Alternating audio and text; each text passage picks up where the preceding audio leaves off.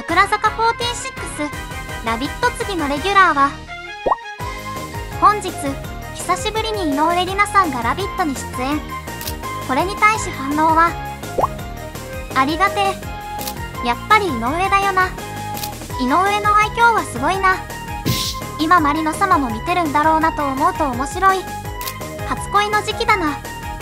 なんで1年弱呼ばれていなかったのかわからないくらい。なんていうかちょうどいい仕事をしたと思う。さらに明日は森谷レナさんが出演。分連続とかかみじゃん。レナーラビットもう週1レギュラーだろこれ。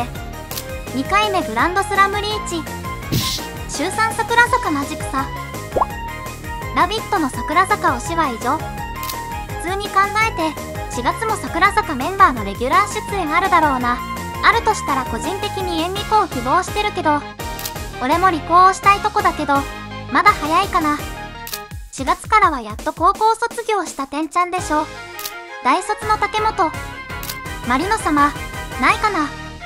ある程度顔と名前が一般視聴者に知られているてんちゃん竹本よりこれから売り出したい3期生が選ばれるんじゃないかな。正直愛梨ちゃんだろう。